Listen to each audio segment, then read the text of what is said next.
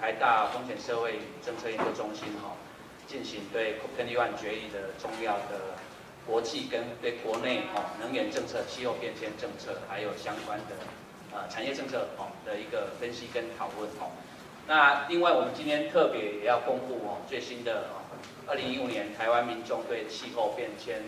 呃的风险感知哦，来对应性的讨论台湾的民众哦。呃，针对气候变迁的看法，跟对能源跟产业，尤其也回应到这次跟利湾的一个发展趋势，他民众的看法跟思考是什么？好，那我们今天很高兴哦，请到呃几位呃来宾哦，我们请到第一位呃重要的来宾哦是呃李远哲李前院长。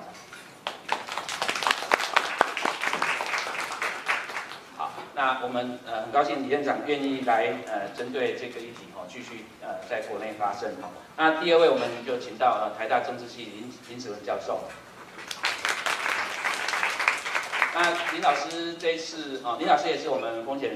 社会政策研究中心重要的成员哦，他这一次也到呃巴黎去哈，这个随身的观察这样的一个重要会议哈。那第三位我们请到呃青年呃气候联盟的代表哈。谢尚龙哈，谢研发长哈，不过他还没有到。那呃，我想青年气候联盟这次也在巴黎哈做了非常多的观察哈，跟 NGO 的活动。好，那我们今天的程序大概是这样哈，就是说呃第一个呃小时哈，首先由我这边哈代表我们中心哈报告我们对中心对 COP21 的一个简单的看法，还有这个对于二零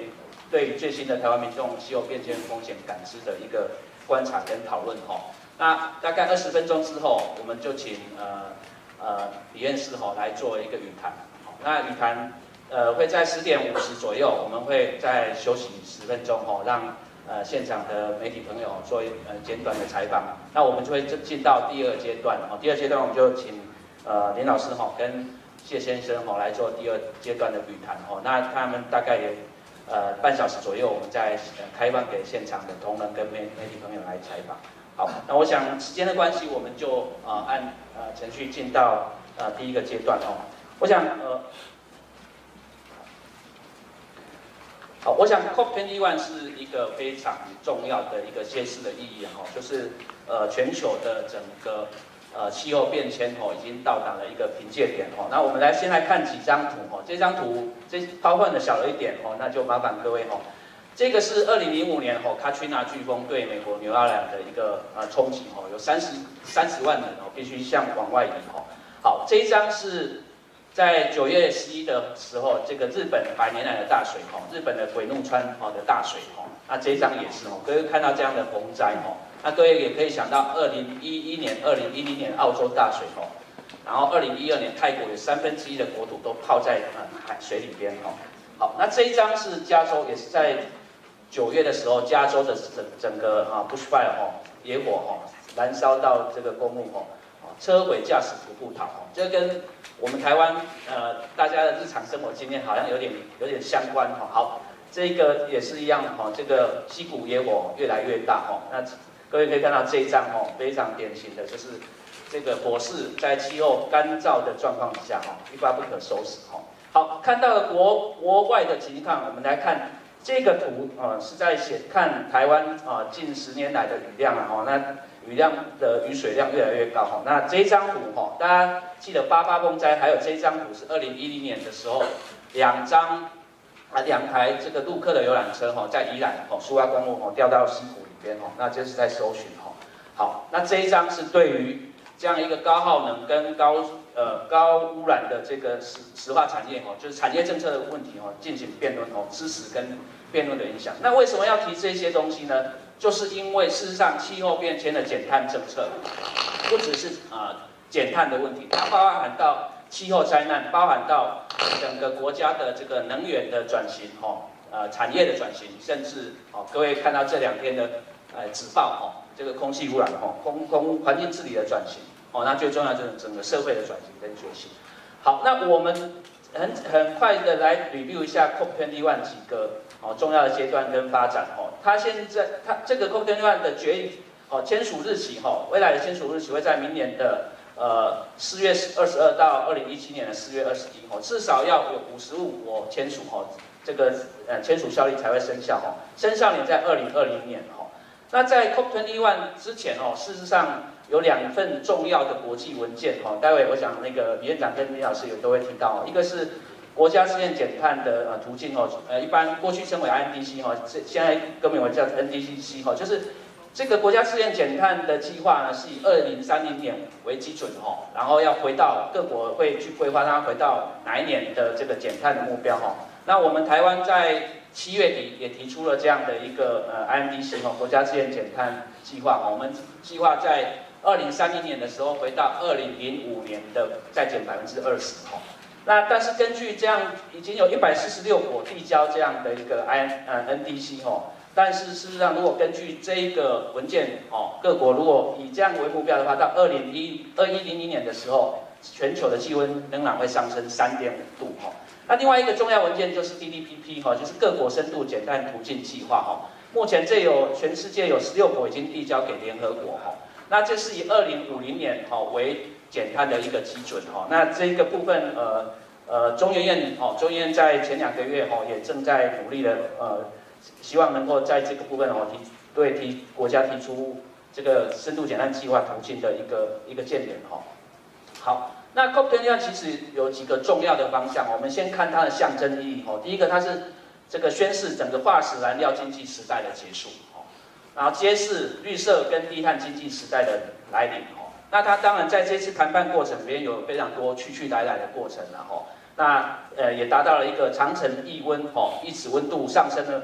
呃，只能上升到一点五度哦，这是长城哦，大家一般谈是两度哦。那个实质的发展哦，我这边也是做一个粗略的一个呃报告哦，待会我想呃林老师有更细部的一些报告哦，呃要求会要求各国降低或终止化石燃料的补贴哦。那我们台湾过去对化石燃料补贴仍然是非常的高哦。这个去年的布呃布鲁兰的哈，他来接受唐奖的时候，他说他有注意到台湾在全世界在化石燃料补贴里面也是。呃，贡献的非常多了就是我们事实上是被注意到哈。那另外一个是二零一八年会开始审查各国的排碳政策哦，跟排碳政排碳政策的内涵跟情况。然后每五未来每五年会进行减碳的盘查对世界各国。所以二零二二三年很快的哈就会进行减碳盘查。但另外一个是呃一千亿美元的援助降温的基金哈，这个这个呃可能是呃是因为国际的协商的关系哈，并没有写入主文哈。好，另外一个最重要的一个影响趋势哈，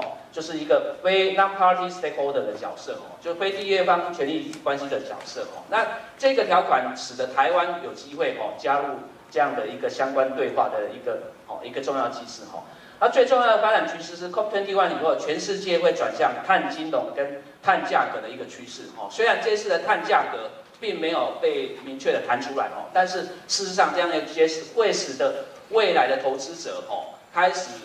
从对化石燃料的投资转向低碳哦，跟这个节能的这个投资哦，所以未来的银行的贷款哈也会往这个方方向发展哦，所以整个碳金融跟碳价格趋势会发展出来。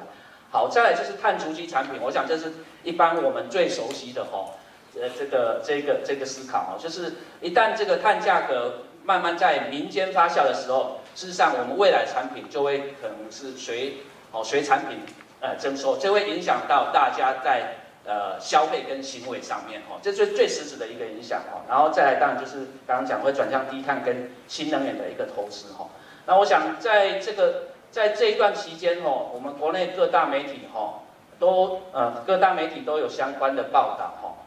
好，好，那这个是易温新目标哦的报道哦。那有一个，我常常。我们做科技风险啊，常常讲说用科技会有风险哦，跳这么快。好，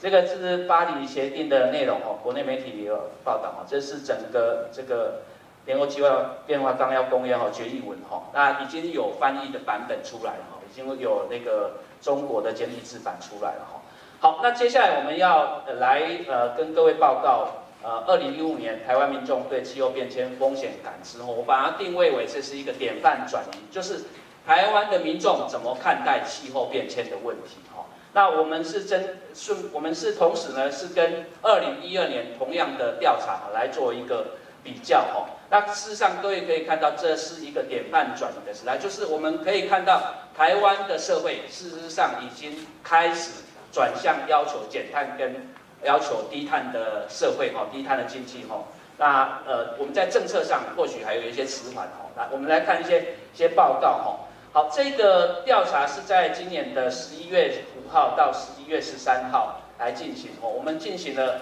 一千零七十一份的抽样哦，以百分之九十九的信赖度推估哦，这个正负的这个误差率不超过二点九三哦。我们的呃题目大概分布了这几个重点哦。第一个就是呃台湾的民众对气候变迁严重性的看法哦。第二是呃民众对于环境跟经济发展典范是怎么看的？过去大家都认为环境跟经济对立哦，但是这个事情是怎么样？哦，呃，可以从这边来做解读。哦，第三个是世代正义的问题哦，对后代子孙。第四个是能低碳能源选项的问题，再来是怨妇代价的问题哦，跟民众对环境补贴的看法哦。第五个是政府开征能源税哦，跟环境税，就是重要的碳税概念哦，这边是怎么发展？哦，第六个是风险沟通哦。对政府的治理的信任哦，跟公众的参与，我想我们就分布在这个这几个题目哈。那这个呃呃一些内容我们已经发布在我们的新闻稿哈。如果呃同仁们是需要新闻稿的话，我们外面也有。那我们也有，我们在今天中午也会把这一份的 PowerPoint 跟这份报告，我们会放到我们的网页上哦。好，各位可以看到，好第一题哈，就是说事实上。呃，比较二零一二年跟今年哦，事实上台湾的民众也接近百分之七十的民众哦，认为气候变迁已经视为是全世界最严重的问题。那因为我们国家过去哦，在呃各种呃土石流灾难哦，八八风灾哦非常多哦，我想这个意思是非常对。那有百分之七十三民众不认为气候变迁问题是被夸大的哦，因为跟他日常生活的感知是非常重要的哈。好，有百分之接近七十的民众，六十九的民众认为落实环保亦能够促进经济发展。哦，那这个观点跟过去常常有一个议题，就是说，哎，台民众到底要环保还是要经济？哦，这个是不一样的看法。哦，那这一题在呃二零一二年其实也呈现相同的情形。哦，那二零一二年其实当时是刚好台湾很重要的一个议案，就是国光石化的案子刚结束。哦，所以事实上这个案子显示，台湾的民众开始。面对真正的气啊，真正的环境跟经济，希望能够走出一个永续的经济、永续的呃经济社会的一个发展啊，而不是高耗能、高污染的产业。好，好，那这一题，好，好，有百分之七十二哦，所以接下来有一题哈，有百分之七十二的民众也认认为，不认为说落实环保会阻碍台湾的经济发展。哦，这是同样一个范畴哦，就是。事实上，台湾民众不认为环境跟经济是对立的哦，所以我们的政策跟社会应该要来思考，我们要走向怎么样的一个永续的经济社会哈。好，那这一题呃，这个就是有百分之八十六点九，接近百分之呃八十七的民众哦，在世代争议的议题上哦，是认同说为了后代子孙应该落实环保哦，肚子勒紧一点哦，为了下一个世代哦。好，这一题在二零一二年也有相当高的比例哈，也高达百分之八十几的比例哈，非常的高哈。所以我想这个是大家对下一个世代的一个重要哈。那这个空污的问题哈，就百分之八十民众认同空空气污染严重哦，那这个就不用说。这一题是今年特别加哈。那这两边的指报哈，我想我们不用做过多说。好，这一题就是低碳能源的选项哈，有百分之接近八十的民众哦，七十八点七的民众认同。这个替代能源可以减少温室气体排放。那现在今天台湾的辩论就是我们的替代能源是什么？好，那待会我们还有相关的。好，有百分之六十六的民众哦认同应该以天然气发电。哦，我想这是一个政策的意涵哦，值得我们的政府哈跟呃执政党跟在野党来思考哦，尤其面临呃这个总统大选的时候。好，那有百分之八十五的民众哦。这个电物代价这个议题哦，愿意以高比较高的电价来支持再生能源哦。我想国内民众对于支持再生能源的意愿已经非常的高哦。那我们待会来看一下台湾再生能源发展，为什么再生能源发展这么慢？也就是 German Watch 这时候评这次评比非常重要的一个。好，那有百分之呃接近七十六十八点八的民众哦，愿意以较高的户税来保护环境哦。好，这也是相同，从烟雾到价支持再生能源跟较高物税，好，跟呃这一题哈，有也有百分之六十八民众哦同意或是支持政府开征能源税跟环境税哦，这个也是非常重要的一个指标哦。那这一题在二零一二年哦加总起来也有接近百分之七十的民众哦来支持哦民众开征能源税。那能源税这个议题在国内从二零零五年谈到现在哦一直都没有动哦，那没有动有非常多政治经济的因素哦，待会我们有时间可以再来看。好，那有百分之六十八的民众哦支持政府调整高耗能、高污染的哦产业啊。好，那仅有百在风险沟通跟政策沟通的部分哦，仅有百分之不到四十哈，三十九点一的民众认同政府已经提出明确的气候变迁政策。哦，那所以我想这个指标一向是风险沟通，一向是我们政府的弱项哦，所以这个部分是需要加加强哦。那也只有百分之三十二的民众哦信任政府有对抗气候变迁异常的能力哦。那呃呃可以加一个小小的点，就是我们现在未来明年可能要加入，或后年可能要加 TPP 的谈判。TPP 的一个要求就是政府的政策透明度跟民众参与度必须要提高哦。那我们以目前看到台湾呃过去在呃呃治理的情况里边，这个部分是需要加强的哦。那政府呃同样的议题哦，在增加民间参与部分哦，有个接近百分之九十的民众哦认为政府的政策，尤其气候变迁政策，应该增加民间参与。尤其我们现场哦，我们来了很多呃 NGO 的朋友哦，所以大家对这个呃呃对对这个方面都有要求。然后我想我们民众对这个方面也都呼吁哦，也是希望政府能够加强这样。所以。整个的调查哈，我们想从刚刚对于气候变迁的意识哈，这个民众对世代的争议，愿意支持比较多的呃再生能源，愿意支持碳税哈，甚至对政府治理哦要求更多的参与哦，要求更多的这个沟通哦，这个发展趋势哈，我们可以看到整个 COP21 的决议哦一样哈，我们刚刚讲走向绿色经济，降低或终止化石燃料补贴，这是国内。现在会辩论的一个重要的一个议题哦，尤其化石燃料补贴啊部分哦。第二，转向碳金融、碳价格趋势哦，但主机产品的要求哦。所以针对这样的一个东西，我们这次的呃调查，事实上我们可以反映台湾的社会事实上正在进行典范转移，民众要求朝向绿色经济跟低碳社会的要求哦。民众将气候变迁视为是全世界最重要的问题哦。民众已经认同，呃，经济发展跟环续环境永续可以兼顾哈，然后世代正义为了后代子孙哦，应该落实环保哈。那民众的这个发永续发展意识提高哈，所以厌恶代价支持再生能源是非常高的比例哦。那也支持政府调整高耗能高污染的产业哦。在在在治理的部分哦，刚刚已经强调了哦，在风险沟通、政府对政府的信任度，还有民间参与哦，大家普遍都觉得这是不足的。那我希望。呃，目前呃正在总统大选的这个呃候选人哦，三党的候选人哦，事实上要去思考这样的一个长期政府在风险沟通赤字的这个部分哦，尤其气候变迁更需要政府跟民间团体的哦，跟民众的一起合力的努力。好，所以在这样的架构底下，我们进到第三个阶段呃的一个报告哦，就是呃我们呃呃在今年呃六月底的时候，通过温室气体及减量及管理法哦，那呃，同时在七月三十号的时候，我们向联合国递交所谓的国家呃自主减碳哦这个方案哦。那像刚刚讲，就是说这个方案是强调在二零三零年的时候，台湾的气候排碳量哦要这个呃呃降到二零零五年的这个基准再减百分之二十哦。好。但是在同时，在 COP21 最后两天的时候，哦，最后两天的时候，这个 German Watch 啊又公布了这个哦，台湾在减碳排名上面，哦，事实上是是第五十二名，哦，呃，小小进步两名了，哦。那联合报标题说我国排碳排名比大陆差，哦，其实去年就比中国大陆差了，哦，只是大家没发觉。好，那这一个 German Watch 他们评比有几个重点哦。第一个重点就是国家总体减呃排碳的减碳哦，啊，第二个重点就是各部门的减碳，包括能源部门、产业部门、运输部门跟服务部门的减碳。哦，第三个部门，第三个部分就是效率的部分哦，效率部分台湾今年得分哦蛮高分哦，第八名哦，大概是九十分。第四个部分是再生能源的发展哦，加第五个部分就是气候变迁政策。好，那我们一个一个稍微来 review 一下这个概念哈。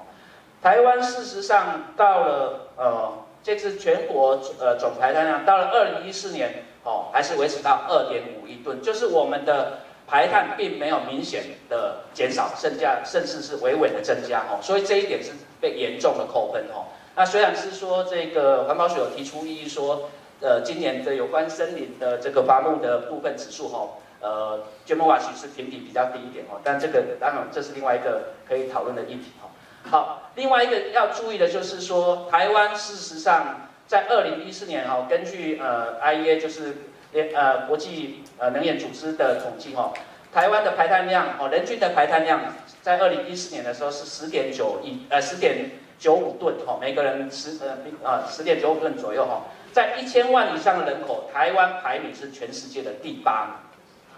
所以我们一定会被盯上了，因为我们的排碳量太高了哈，以二零一一年一致哈。所以为什么我们的气候变迁评比在总体的排碳就是非常高？那第二个刚刚讲第二个重要的评比指数就是能源部门，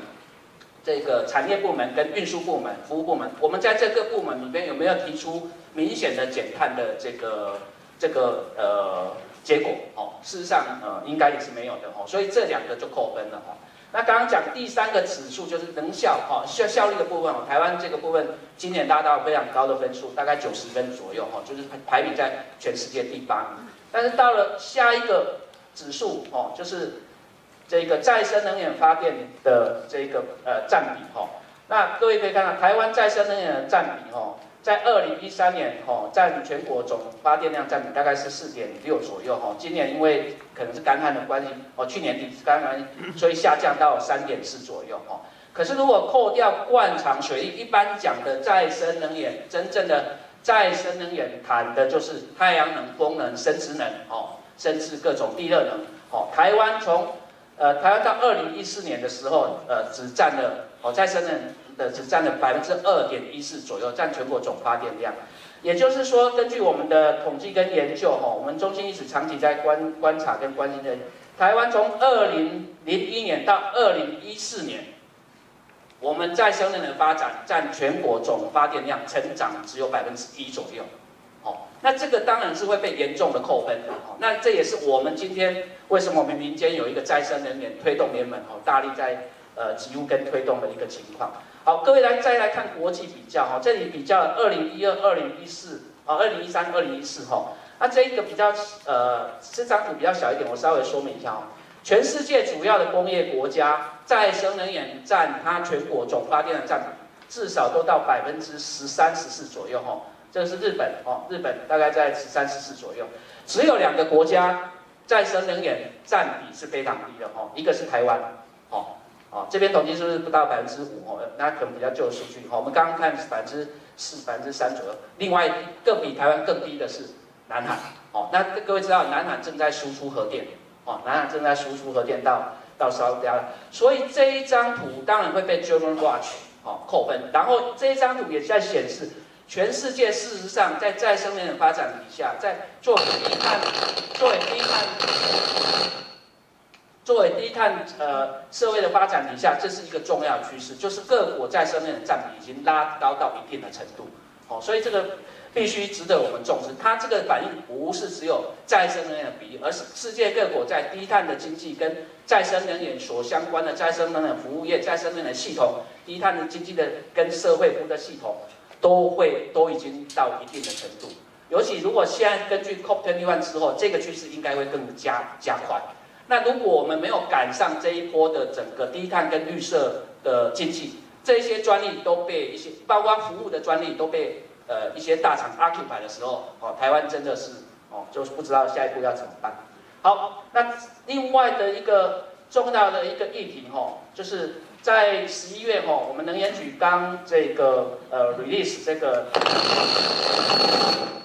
刚 release 这个能源开发政策评估说明书，哦。那这个政这个说明书，事实上，呃，目前有辩论的哈，就是说，它这个推估哈，待会林老师也会呃稍微讨论一下哈，说它这个推估的模型哦，事实上是可以检讨的。那它现在在全国各地要办几场公听会，未来要送进环保署做能源政策环评。那这样的一个推估哈，那我们的环团朋友就批评了哈，就是说认为这样的推估哦，那刚刚林老师也特别跟我我们讨论一下，就提到一个重点，并没有把灾难对核能电厂的影响哦进去推估哦，所以这只是从产值上来推估哦，看起来好像核飞核跟全核能贡献度差一兆，那可是他各位呃，昨天我们呃台大大气系的徐婉宏教授也在中国时报投书了哈，这也是一项我们中心的论点哈，就是台湾现在已经走，大家对非核家园的共识已经越来越高。所以核能的选项当然会经过一般的辩论。那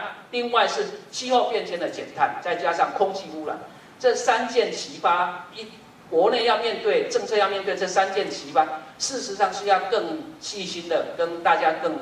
更这个更密切的来来来合作跟对谈哦，不然就会变成一个相当对立的一个情况哦。好，那这我所以我们中心一向关心如何从一个核色经济社会转向。哦，绿色经济的社会哦，那啊空空污的议题哦，我想台湾 PM 二点五的浓度哦，这个也都不用再讲了哈。那针对 PM 二点五，现在呃中部各县市哈几个县市要求这个禁烧生煤哦，那我们的中央政府怎么样来跟地方政府跟 NGO 合作，来针对燃烧煤这个事情来做一个讨论哦，是不是有其他燃烧呃化石燃料的技术，或是应该转向？哦，其他的燃料哦，这个都是非常重要，包括再生能源哦。这那这谈各都的这个 PM 二点五都超超过六都哦，我想这个超全台各地都非常严重。那这张图当然就在谈整个 PM 二点扩散哦。那这个图就是在南投的普里西南国小哦，这个小朋友升空屋期哦，因为他们那一天的 PM 二点高达一百零四度哦。我们今天外面大概一六多少？一六。一六哦，今天外面一六，昨天应该更严重了哈，昨天也是不服哈。OK，好，所以我们最后的总结就是，台湾正面临这样的一个系统性的风险，我们面临的呃呃垂直性的国际垂直性的压力哦，就是减碳的要求哦，它不但是只有减碳的公约的这个要求有部分的法律效力，我们也面临了这样全世界哦绿色经济跟低碳经济的转向。那我们在出呃水平哦的压力，就国内我们民众对于能源产业跟气候变迁，甚至空污，我们都有越来越高的要求。那台湾正面临这样一个系统性的挑战，哦，也面临这样的一个系统性的风险。那我们真的要问，我们的社会准备好了吗？我们的政府准备好了吗？哦，我们的民众准备好了哦。那为了这样的发展，我想公民参与哦，这举一个例子哦，这妈妈婆婆的这个。呃，健康妈妈国国团哦，他们针对 PM 二点五提出很多论述哦，公民参与是绝对必要的哦，也是我们今天非常重要。那大家知道新的产业的时代的来临哦，怎么样去进行配套哦，来进行来克服这样的一个系统性风险哦。台湾的社会其实是相当的，如果在这些建制里边，如果如果没有进步，是非常脆弱的哦。那这样的一个脆弱，也就是我们最后一章哦结论要讲的。我们过去的能源转型，哦，各位可以看到，我刚刚提到，我们在二零零一年到二零一四年，我们的再生能源发展只有成长百分之一，哦，这真的是值得深。你如果去对照世界各国，这实在是太慢太慢了。OK，好，我们转产业转型带过，哦，然后呃，现在东东亚各国，哦，或者东南亚也都追上来了，哈，政府自己转型带过，哈，客户自己转。